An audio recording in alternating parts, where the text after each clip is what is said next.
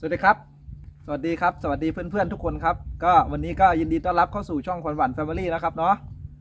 วันนี้สวนควันหวานก็จะมาแนะนำไม้หนึ่งตัวนะครับ ที่มีชื่อว่าเจ้า Yellow Splash นะครับ หรือเจ้าบอนนาญี่ปุ่นเนาะสำหรับเจ้าบอนนาญี่ปุ่นเนี่ย จะมีวิธีการเลี้ยงยังไง มีการบำรุงบำรุงปุ๋ยยังไง ใช้ดินอะไร ที่สวนเราใช้ยังไงนะครับ ผมก็จะมาแนะนำที่สวนเราใช้เนาะ แล้วก็ลักษณะใบลักษณะน้องเป็นยังไงก็เดี๋ยว รับชมกันในคลิปได้เลยครับ ก่อนเหมือนเดิมครับ ก่อนรับชมก็ฝากพี่เพื่อนๆกดไลค์กดแชร์ให้เพจและช่อง YouTube ของพวกเราด้วยนะครับ ผมขอบคุณมากๆครับ ครับผมมาดูเจ้าเยลโล่สเปซกันนะครับ ผมเนาะหรือภาษาไทยของเราก็คือเจ้าบอลนาญี่ปุ่นเนาะตัวนี้ เป็นบอลนาญี่ปุ่น ลักษณะใบของเขาเนี่ยจะมีอยู่สองสีนะครับผมเนาะ ตามชื่อเลยครับสองสีก็คือจะมีสีเหลืองกับสีเขียว ส่วนสีขาวเนี่ยลักษณะสีขาวที่มันออกมาบางบางใบบางต้นนะครับ มันเกิดจากแสงแดดนะครับ แสงแดดทำให้เขามีความขาวขึ้นได้ แต่แสงแดดก็จะทำให้เขานี่ใบไหม้ได้เหมือนกันนะครับ แสงแดดมีผลต่อการกัดสีของไม้ด่างทุกใบนะครับเนาะถ้าอย่างพวก เจ้าบอลกระดาษหรือเจ้าหูช้างเนี่ยถ้าเราเลี้ยงแดดร้อยเนี่ยสังเกตไม้นะครับเนาะเขาจะเขาเขาเรียกว่าเขาจะไม่บานนะครับเขาจะตั้งเขาจะตั้งงุ้มเขาจะตั้งตรงขึ้นเลยเนาะใบเขาจะชี้ขึ้นบน ถ้าเราเลี้ยงในร่มเขาก็จะบานออก อย่างไอ้เจ้าตัวนี้ก็เหมือนกัน เจ้าเยลโลสเปซเนาะเอ่อ Yellow Yellow Splash เป็นไม้ด่างนะครับ Yellow Splash เป็นไม้ด่าง อย่างที่ผมแจ้งทุกคลิปก็ไม้ด่าง ถ้าเพื่อนๆจะซื้อต้องดูต้นแม่ดีๆนะครับ ให้ดูที่ต้นแม่ดีๆนะครับ ผมเนาะอ่าอย่างนี้ตัวนี้ต้นแม่เขาก็ จะมีแบบเขาเรียกว่า half บ้างนะ สังเกตนะครับ ส่วนมากใบเขาจะ half ไปฝั่งนี้ฝั่งฝั่งฝั่งขวามือของผมแล้วกัน ที่ผมนั่งหันหน้าเข้าหาเขาเนาะนี่ฮะทั้งนั้นเลยครับเนี่ย ถ้าใบงุมมาทางนี้ก็หันไปขวามือนะครับเนาะนี่ขวามือ อันนี้เป็นซ้าย ต้นแม่ต้นนี้เนี่ย ที่ผมซื้อมาเนี่ยเขามีอายุประมาณสัก สองเดือนกว่าแล้วครับนี่สองเดือนกว่าผมซื้อมาตั้งต้นเล็กๆเองนะครับ เนี่ย ซื้อมาต้นแค่เนี้ยครับ ต้นลูกเขาแค่เนี้ยครับ ผมซื้อมาแค่นี้นะนี่แค่นี้แล้วก็มาเลี้ยงเอา ราคาเมื่อก่อนที่ผมซื้อเนี่ย ผมซื้อมาแค่ประมาณพันพันเดียวนะครับพันหนึ่งพันบาทเนาะตอนนี้ก็ราคาเริ่ม drop ๆลงแล้วนะครับเนาะเจ้าสำหรับเจ้า Yellow Splash บอนนาญี่ปุ่นเนาะก็ drop ลงก็ก็ยังอยู่หลักหลักพันเลยนะครับ ไม้ใบสองใบนี่ก็พันกว่าสองพันนะครับเนาะ ความสวยของเขานี่ต้นเจ้าตัวนี้เนี่ยเขาจะเขาจะไม่สูงนะครับเขาจะไม่สูงเขาจะไม่สูงสูงมากก็เต็มที่ก็ประมาณสักไม่เกินห้าสิบเซนนะครับ ไม่เกินนี้ไม่เกินนี้นะครับ บอนเป็นเป็นเป็นบอนพันธุ์เตี้ยเนาะเป็นพันธุ์เป็นพันธุ์เตี้ยครับ อย่างต้นนี้ก็โอ้โหจะด่างลงก้านเลยนะครับ เจ้า Yellow Splash ต้นนี้ด่างลงก้านเนาะมี half มี half มีติดปลายมีเขียว Yellow Splash ออกได้หมดนะครับ เป็นไม้ ที่มีไหลนะครับ เจ้าตัวนี้มีข้อมีไหลนะครับ เจ้า Yellow Splash มีข้อมีไหลแล้วก็มีต้นปลายไหลเนาะสำหรับไม้ไหล อ่าสำหรับดินที่เราใช้เนี่ย นี่มาดูใกล้ๆครับ ผมจะใช้เป็นดินดินโคลนเลยนะครับ ดินขอบสะข้างสะเนาะนี่นี่ใช้ดินอันนี้เลี้ยงอ่าผมสังเกตดูว่าปลายไหลเขาเนี่ยจะแทงออกไปได้ดีนะครับ เมื่อเราเลี้ยงเนี่ย พอพอเขาเจอแบบ ดินดีๆ แล้วเนี่ยเขาจะตั้งตั้งใบขึ้นมาง่ายนะครับเนาะถ้าเป็นแบบดินเนี่ยเนี่ยเขาเรียกว่าดินโคลนนะครับเขาจะตั้งใบขึ้นง่ายนะครับ ตั้งใบขึ้นง่ายเนาะดินโคลนแล้วก็แทงไหลไปได้ง่ายเนาะแทงไหลไปได้ง่าย ดีครับ ดีดินถ้าเลี้ยงดินโคลนเลี้ยงน้ำนะครับ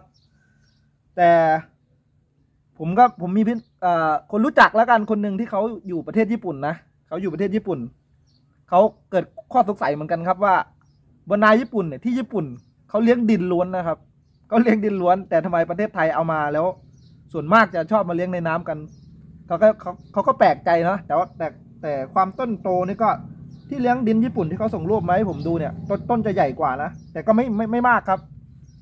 แต่ก็เอามาเลี้ยงน้ำอย่างนี้ก็ ผมว่าก็โอเคนะครับ ไม่ต้องดูแลอะไรมากมาย เลี้ยงน้ำอย่างที่ผมแจ้งนะ ผมเลี้ยงน้ำก็ยังไม่เคยเจอเชื้อรานะครับสำหรับเลี้ยงน้ำแล้วปักชำง่ายมาก ปักชำง่ายมากนะครับ คือแบบหักบิดหักเอาไปปักลงปั๊บติดครับ ง่ายสำหรับปุ๋ยที่เราใช้นะสำหรับใช้เลี้ยงน้ำนะครับ เหมาะสำหรับเลี้ยงน้ำเนาะเป็นปุ๋ยบัว ปุ๋ยเม็ดนะครับ อันนี้เป็นเร่งใบเร่งต้นเร่งรากนะครับเนาะมันจะมีอยู่สองแบบนะครับ ปุ๋ยบัวจะมีเร่งเร่งดอก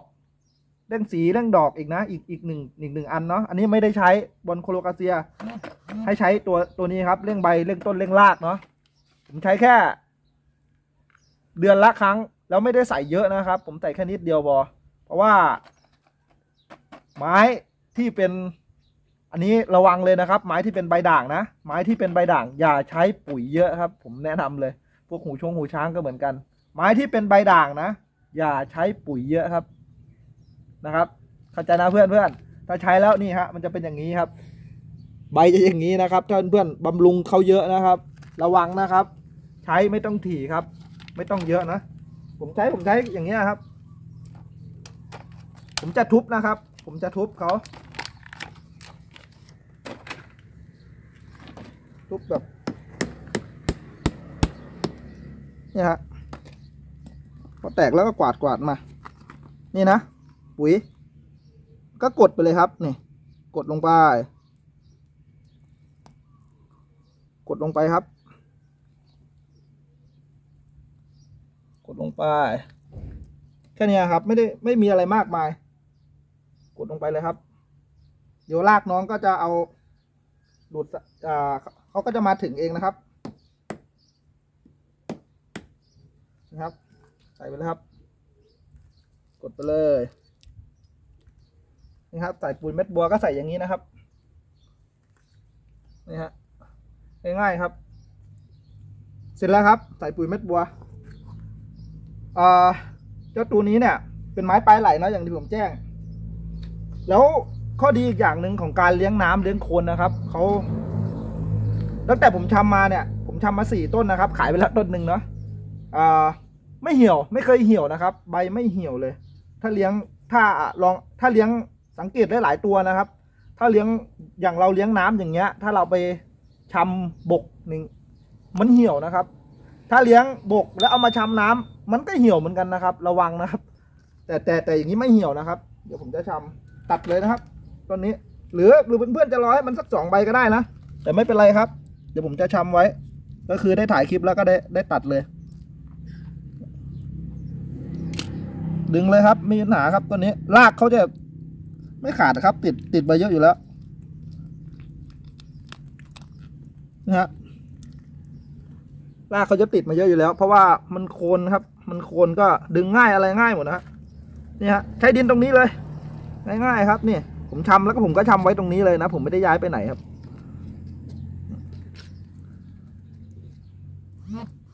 ดินดินเออ อีกอย่างหนึ่งดินตัวเนี้ย ถ้าถ้าผมทำอย่างเงี้ย ผมก็จะเอามามาโรยเพิ่มไว้เรื่อยๆนะครับ ดิน ค่เนี้ยครับ ง่ายนะฮะเยลโลสเปซผมทำไว้อย่างนี้เลยครับ ตั้งไว้อย่างนี้นะครับตั้งไว้กับเพื่อนๆพี่ๆเขาต้นแม่เขาเลยนี่ฮะฉำติดไว้อย่างนี้เลยนะครับ แล้วก็มันไม่ต้องดูแลอะไรมากมายครับชำแล้วก็ทิ้งไว้อย่างเงี้ยครับ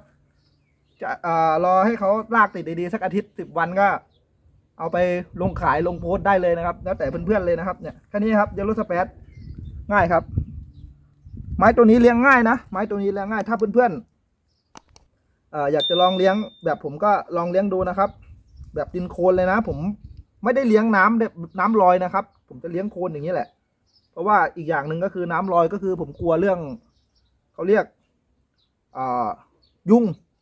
ยุงจะมาไข่ได้นะ ยุงมาไข่แล้วก็ ถ้าเพื่อนๆอยากจะเลี้ยงน้ำไม่มีเวลาก็ถ้ามันยุงจะมาไข่ก็หาแหนหาจอกมานะครับ ให้มัน เต็มพื้นที่เลยนะ แต่ก็ต้องดูแลหน่อย หน่อยเรื่องรดน้ำแล้วครับ อย่าให้ขาด ถ้าเพื่อนๆจะเลี้ยงน้ำอย่างนั้นเนาะเนี่ยฮะแค่นี้ครับ ง่ายไหมครับ Yellow Splash ก็ไม่มีอะไรมากมายสำหรับวันนี้เนาะ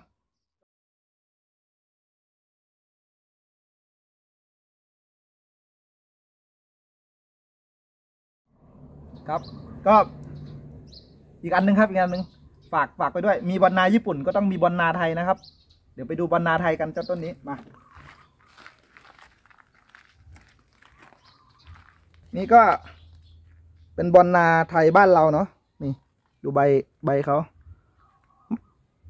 ไม่แพงนะครับ ต้นต้นพวกนี้ไม่แพงนะก็หามาเพื่อนหามามาแล้วกันผมผมก็ไม่รู้ชื่อเขาเหมือนกันแต่เขามันก็เขาก็เป็นนาบอลนาไทยบ้านเราเนี่ยแหละครับ สวยนะครับ สวยนะครับ ลองฝากเพื่อนๆ ไปหามาดูแล้วกันนี่บอลนาไทยดูใกล้นี่ดูลายเขาต้นนี้นี่ฮาร์ปบนล่างเลยนะ แต่ใบเขาจะไหม้นิดหน่อย นี่ฮะ ใบเขาจะไหม้ก็ไม่เป็นไรครับ เดี๋ยวใบใหม่ก็โผล่ขึ้นมา แค่นี้ครับ ทั้งดูตัดแล้วก็มีปุ๋ยบัวเนาะแค่นี้ฮะไม่มีอะไรก็สำหรับเจ้าบอลนาญี่ปุ่น ก็มีแค่นี้ครับ ก็ฝากพี่เพื่อนๆกดไลค์กดแชร์ให้เพจและช่อง YouTube ของพวกเราด้วยนะครับ ขอบคุณครับ มือเพื่อนครับ เดี๋ยวต้องไปล้างก่อน